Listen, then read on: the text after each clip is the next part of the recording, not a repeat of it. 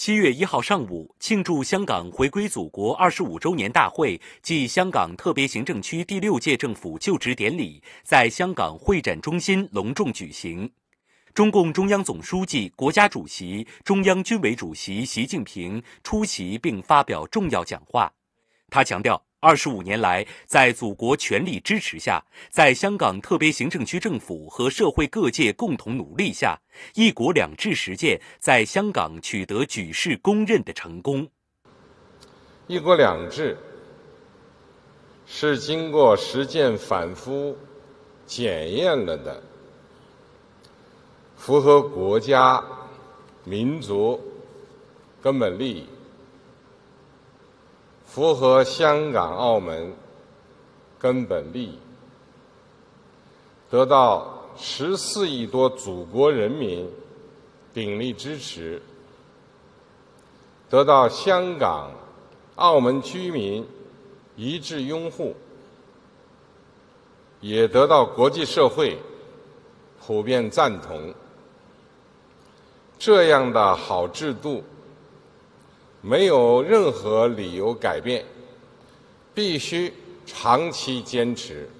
会场内气氛庄重热烈，主席台上中华人民共和国国旗、国徽和香港特别行政区区旗格外醒目。当习近平和夫人彭丽媛在香港特别行政区第六任行政长官李家超和夫人林丽婵陪同下步入会场时，全场起立，热烈鼓掌。上午十时许，庆祝大会暨就职典礼开始，全体起立奏唱中华人民共和国国歌。习近平走上主席台监视，李家超首先宣誓就职。他面对中华人民共和国国旗、国徽和香港特别行政区区旗，举起右手，依照香港特别行政区基本法的规定，庄严宣誓。接着。由习近平监视香港特别行政区第六届政府主要官员在李家超带领下宣誓就职。之后，由李家超监视香港特别行政区行政会议成员宣誓就职。在热烈的掌声中，习近平发表了重要讲话。他首先向全体香港居民致以诚挚的问候。向新就任的香港特别行政区第六任行政长官李家超和第六届政府主要官员、行政会议成员表示热烈的祝贺，向支持“一国两制”事业、支持香港繁荣稳定的海内外同胞和国际友人表示衷心的感谢。习近平强调，“一国两制”的根本宗旨是维护国家主权、安全、发展利益，保持香港、澳门长期繁荣稳定。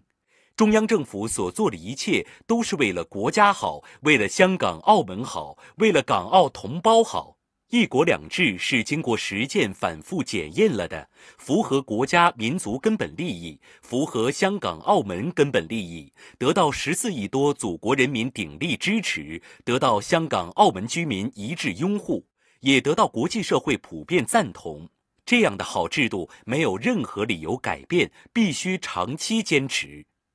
习近平指出，“一国两制”在香港的丰富实践，给我们留下很多宝贵经验，也留下不少深刻启示。只有深刻理解和准确把握“一国两制”的实践规律，才能确保“一国两制”事业始终朝着正确的方向行稳致远。第一，必须全面准确贯彻“一国两制”方针；第二，必须坚持中央全面管制权和保障特别行政区高度自治权相统一。第三，必须落实爱国者治港；第四，必须保持香港的独特地位和优势。习近平对香港特别行政区新一届政府和社会各界人士提出四点希望：一是着力提高治理水平，展现良政善治新气象；二是不断增强发展动能，充分释放香港社会蕴藏的巨大创造力和发展活力。三是切实排解民生忧难，让发展成果更多、更公平惠及全体市民；四是共同维护和谐稳定，共同创造更加美好的生活。习近平强调，要特别关心关爱青年人，要引领青少年深刻认识国家和世界发展大势。增强民族自豪感和主人翁意识，要帮助广大青年解决学业、就业、创业、置业面临的实际困难，为他们成长成才创造更多机会。希望每一个香港青年都投身到建设美好香港的行列中来，用火热的青春书写精彩的人生。